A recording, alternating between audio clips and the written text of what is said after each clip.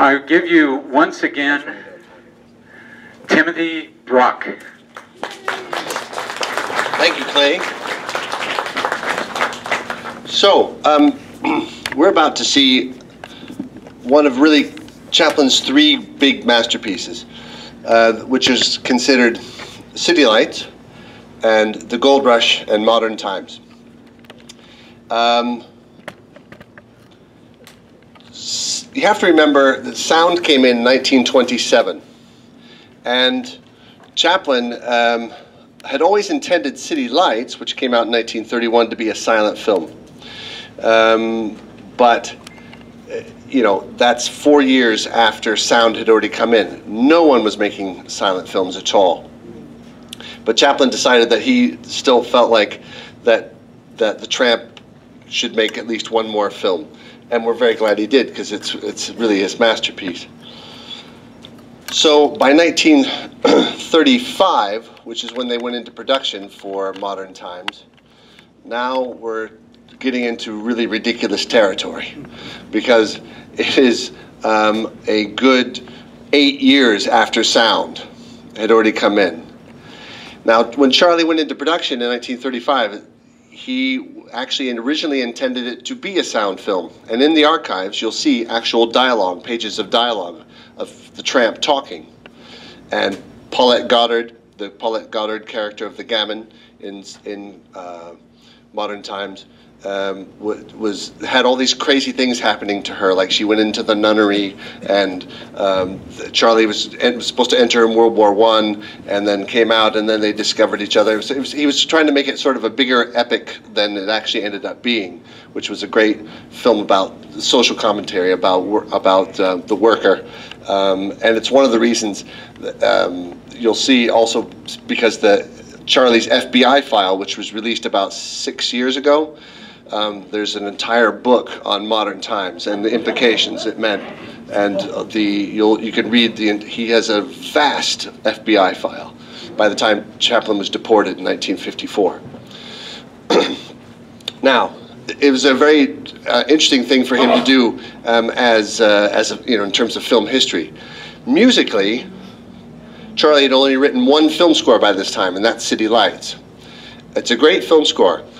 It's for kind of a small foxtrot band. It's about 34 players, and that is small in Hollywood terms. Um, and it uses quite a bit of music that would be very contemporary of the day. Um, a lot of a lot of foxtrots, a lot of um, um, orchestrina, as they would call it, type of tunes, uh, including La Violetera, which is written by Jose Padilla. Well, Modern Times was he was so bitten by the music bug that when he decided to make Modern Times, he thought, I need to make a bigger orchestra. Well, he tripled the size of the orchestra to about 70 players. Okay, that's not triple. My math was not my best subject in West Seattle High School. okay, admittedly. Um, however, uh, it was a lot bigger. And as I said in the first part, um, he did everything by trial and error. He wrote like lots of bits of, of music, and he would go into the studio and uh, listen to something and change it on the fly. Now, changing it on the fly in Hollywood terms is not exactly the right phrase to use because on the fly means essentially what, what David Raksin, as you may remember, who's the composer of Laura and some other great golden age of Hollywood film scores. This was this was his first job working as Chaplin's musical associate. What that musical associate is, by the way, is the, is the guy who writes down what Chaplin's playing on the violin or on the piano or on the cello. And Chaplin would come into the studio at 9 o'clock every morning on Sunset and La Brea, uh, which, by the way, the, those, stu that, those studios are still there. You'll see exactly the building that Charlie built to this day, which is still there, except it has Kermit the Frog on it now in a, in a Chaplin costume. Um, and in, uh, when Chaplin left the U.S. in 1954, it's where they shot Superman. So, um, in fact, Jack Larson, who's Jimmy Olsen, used to come to every LA Chamber Orchestra performance I gave there of, of Chaplin music, and he would bring with him the original wrenches, which he found at the uh, at the studio. So anyway, I, I, get distracted. I'm supposed to. I'm, trying to make this shorter because we're running a little bit late. But um, essentially, Chaplin would get to the studio at 9 o'clock in the morning and he would work on two minutes of the film every day. So he would sit down with David Raksin and play on the piano or on the violin a section of the film that they had in a moviola, which is a viewer of a film that would run forwards and backwards, which makes it easier for him to run little bits of, of music and then play little bits and then see how it looks while David played what he wrote down and then played it back. Anyway, David would make what's known as a short score, which is five lines of what Charlie wrote, and said, "This, you know, this, this is the tune, this is the chord structure." And then he would come back with this five score, and then he would sit down with Charlie and orchestrate from that point. So he would sit down and say, "Okay, this op- this line here, like that." He'd say, "That should be oboe." And then the cello's line is this, bum, bum, bum, bum, bum, and then the brass should play this chord, uh, uh, uh, uh, uh, like that, and then David would write all this down. Then he would take that score and then take it home and then orchestrate it for 65 to 70 players.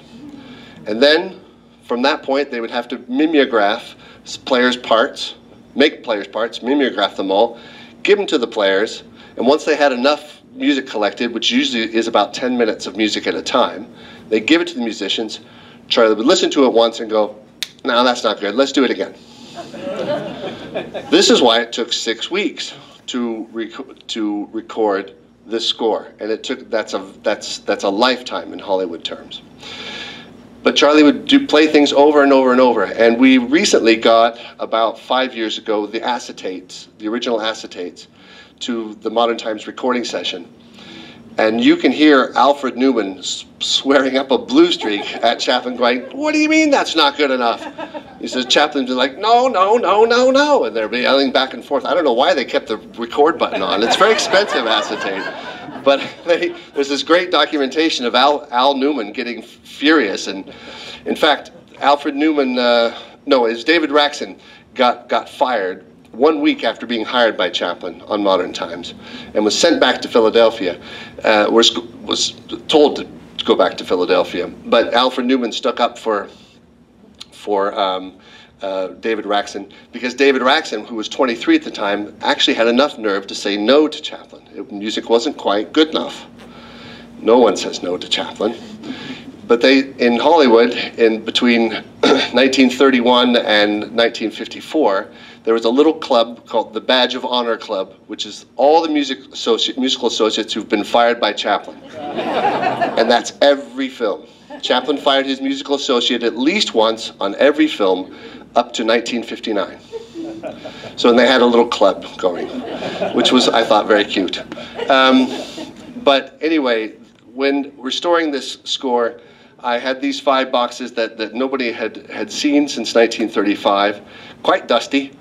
Um, and but it was it was a great pleasure to sort of piece everything back together, and it took such a long time, um, which is why the Chaplins gave me two years to do it.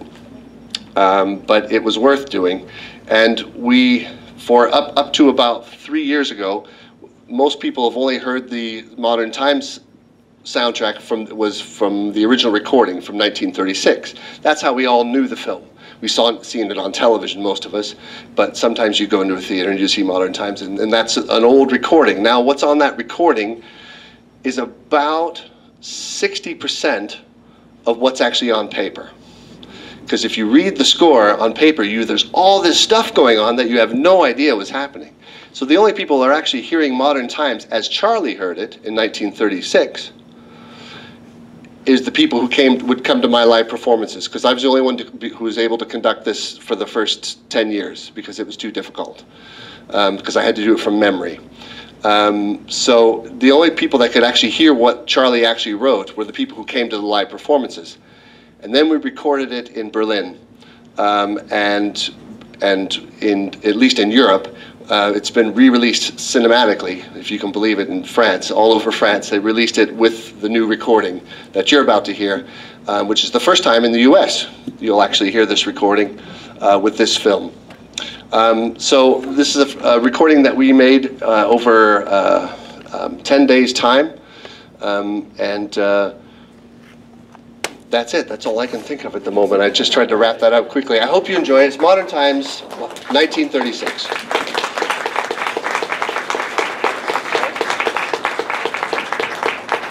I just have one more thing to say. Tim, Tim, please keep standing.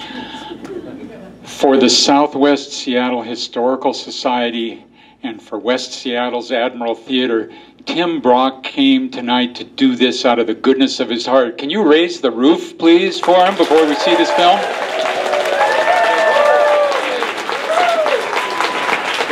Have a good time.